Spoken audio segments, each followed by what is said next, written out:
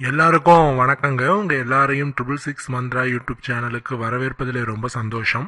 இந்த வீடியோ பதிவில் நாம் என்ன ஒரு ஆன்மீக தகவலை பற்றி பார்க்க போகிறோம் அப்படின்னா இன்றைய நாள் பிப்ரவரி மாதம் பத்தொம்போதாம் தேதி ரெண்டாயிரத்தி இருபத்தி ரெண்டாம் ஆண்டு சனிக்கிழமை திருநாள் மாசி மாதம் முதல் சனிக்கிழமை.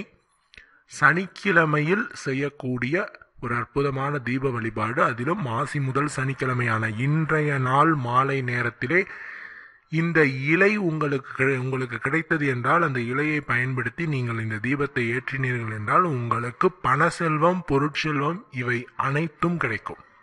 இந்த தீபம் என்னன்னு பார்த்தீங்கன்னா அரச இலை தீபம். அரசனை போல வாழ்வு தருமாம் அரச இலை தீபம்.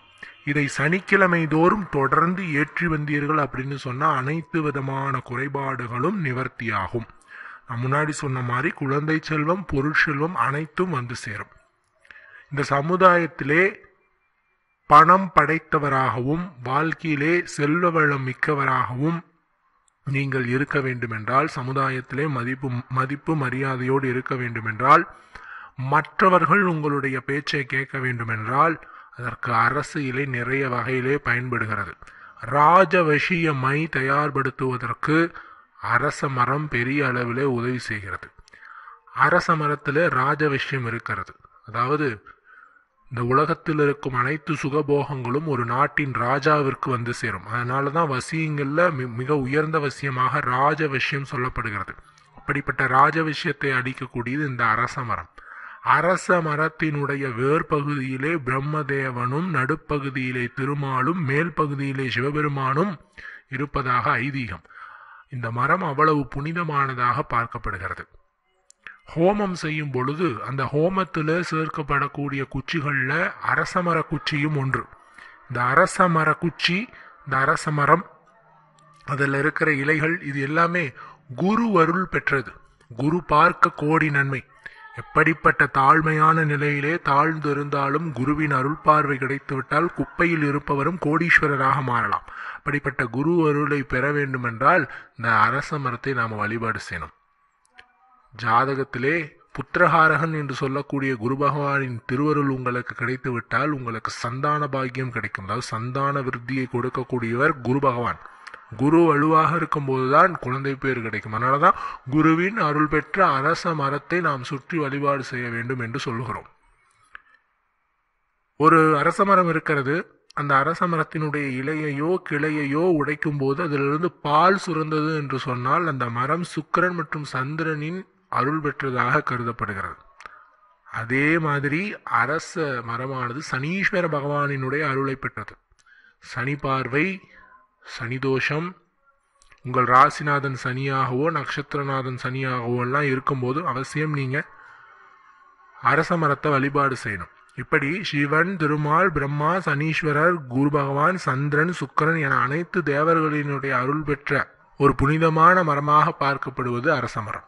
இந்த அரசமரத்தினுடைய காற்றை சுவாசிப்பதே நமக்கு புண்ணியம்.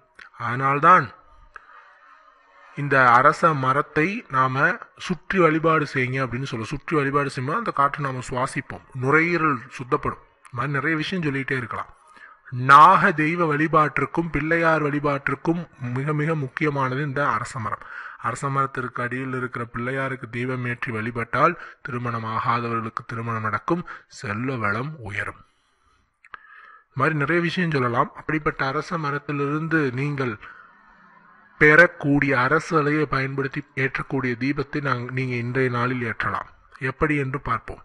முதல்ல ஒரு அரச மரத்தின் இலை ஒன்றை பறித்து எடுத்துக்கொள்ள வேண்டும். அந்த அரச இலையை கழுவி தண்ணீரில் கழுவிட்டு நீங்கள் நார்மலாக வச்சுட்டு கீழே அதுக்கு மேலே ரெண்டு அகழ்விளக்கு ஏற்றிக்கலாம். ஒரு இலையில ரெண்டு அகல் விளக்கு ஏற்ற மாதிரி இருந்தால் அதாவது கொஞ்சம் பெரிய இலையாக இருந்தது என்று சொன்னால் அந்த இலை மேல ரெண்டு அகல் விளக்கு வச்சுக்கோங்க. சின்ன இலையா இருக்குதுன்னா ரெண்டு இலை வச்சு அது மேல ரெண்டு அகல் விளக்கு வச்சு அந்த அந்த அகல் விளக்க மஞ்சள் குங்குமம் போட்டு இதெல்லாம் வச்சுட்டு நல்லெண்ணெய் ஊற்றிட்டு பஞ்சு திரி போட்டுட்டு தீபம் ஏற்றிட்டு நம்ம வழிபாடு செய்யணும். இந்த அரசியலை தீபத்தை வெறும் தரையில ஏற்றாம ஒரு தாம்பூல தட்டுல அரசியலை வச்சு அது மேல விளக்க வச்சு தீபம் ஏற்றிக்கோங்க. இதை எப்போ ஏற்றலாம்னா இன்று மாலை ஒரு ஆறு மணிக்கு மேலே ஏழு மணிக்கு மேலே நீங்கள் தாராளமாக ஏற்றலாம். காலையில் பிரம்ம முகூர்த்தத்தில் ஏற்றலாம். இது சனிக்கிழமை தோறும் ஏற்றி வாருங்கள். பூஜை அறையில் ஏற்றுங்க. மறுநாள் அந்த அரசியலை நீங்கள் எடுத்து பூச்செடிக்கு அடியில் போட்டு விடலாம். இந்த தீபம் பதினைந்து நிமிடங்கள் எரிந்தாலே போதுமானது.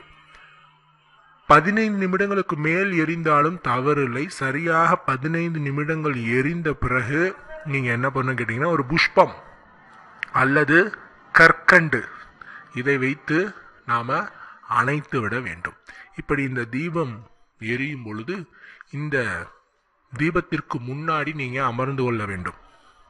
ஒரு பலகையின் மீதோ விருப்பின் மீதோ கிழக்கு பார்த்தபடியோ வடக்கு பார்த்தபடியோ அமர்ந்து கொண்டு உங்களுடைய கண்களை மூடி முதுகுத்தண்டை நேராக வைத்து ஜபமாலை வச்சுக்கலாம். ஜபமாலைனா ஸ்படிக மாலை ருத்ராட்சம் தாமரை மணி மாலை எது வேணாலும் வச்சுக்கலாம்.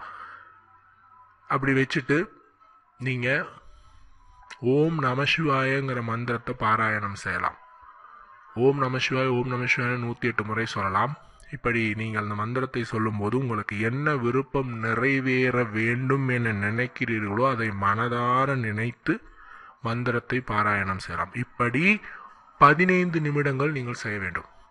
மந்திர உருக்கள் எத்தனை முறை வேண்டுமானாலும் ச- சொல்லலாம். நூற்றி எட்டு முறை ஆயிரத்தெட்டு முறை நீங்கள் சொல்லலாம். இந்த வழிபாடை நீங்கள் தியானத்தில் அமர்ந்து வழிபாடு செய்யக்கூடிய நேரம் பதினைந்து நிமிடங்கள் இருக்க வேண்டும். பதினைந்து நிமிடங்களுக்கு குறைவாக வேண்டாம். ஏன்னா நம்மளோட மனசு தெளிவாக கட்டுப்பட்டு அந்த மந்திர உச்சாரணங்களுக்கு ஒத்துழைக்கணும். உறுதுணையாக இருக்கணும். எந்த ஒரு வழிபாடுமே அதாவது இப்போ கோயிலுக்கு போகிறோம் அவசர அவசரமாக வழிபாடு செஞ்சுட்டு வந்துடுறோம். அது தவறு. பொறுமையாக நம்மளுடைய மனதை ஒருநிலைப்படுத்தி நாம் இறைவனை பூஜிக்க வேண்டும். அதுக்கு தான் அந்த பதினைந்து நிமிடங்கள் என்று சொல்கிறோம். இந்த பதினைந்து நிமிடங்கள் நீங்கள் அந்த பலகையின் மீதோ அல்லது விருப்பின் மீதோ அமர்ந்து இந்த மந்திரத்தை நீங்கள் உச்சாரணம் செய்யும்போது என்ன ஒரு ஒரு ஆயிரத்தெட்டு முறை சொல்லலாம் அல்லது ரெண்டாயிரம் முறை கூட நீங்கள் இந்த ஓம் நம சிவாய மந்திரத்தை சொல்லலாம். இப்படி சொல்லும் பொழுது உங்களுக்கு அற்புத பலன்கள் கிடைக்கும். இன்னொருத்தர் கூட கேள்வி கேட்கலாம் சார் நம்மளுக்கு இவ்வளோ தூரம் சொல்கிறதுக்கெல்லாம் முடியாதுங்கிறவங்க. ஒரு இருபத்தி ஓரு முறை மட்டும் மந்திரத்தை சொல்லிவிட்டு ஓம் நம சிவாய மந்திரத்தை ஒரு இருபத்தி ஒரு முறை மட்டும் சொல்லிவிட்டு அந்த தீப ஒளியை நீங்கள் கூர்ந்து கவனித்து வழிபாடு செய்யுங்கள். இது வந்து ஆப்ஷனல் இந்த மாதிரி கூட செய்யலாம்.